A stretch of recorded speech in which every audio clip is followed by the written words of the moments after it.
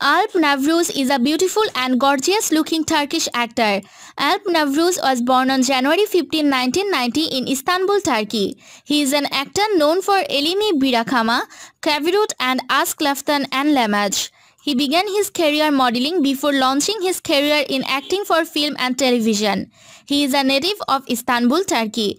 First known for his role in the 2016 film Kavirut, he would go on to play Sinan Egemen in the 2017 television series Fazilet Hanim ve Kizlari. Also a model, he modeled for Cosmopolitan Turkey, Hamel Turkey, GQ Turkey and Vogue Turkey.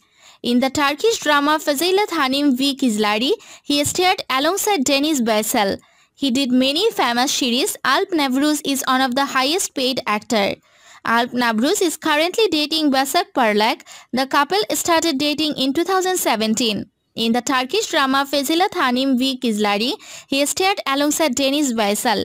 He also has a position among the list of most popular TV actor. Alp Navruz's zodiac sign is is the astrological symbol and is the ruling house of is the lucky day and is the lucky number for the peoples.